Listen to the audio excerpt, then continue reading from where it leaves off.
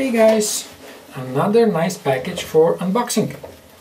Uh, this should be, I think, a uh, 18650 or any lithium-ion battery charger but actually it's combined charger so you can charge one or two batteries at the same time you can charge two batteries connected in series this is the TP5100